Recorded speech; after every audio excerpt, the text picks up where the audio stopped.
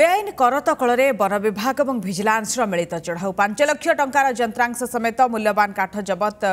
খবর পাই করতকলর মালিক ফেরার হয়ে যাই বালেশ্বর জেলা সোর থানা বাড়ঙ্গঠারে চাল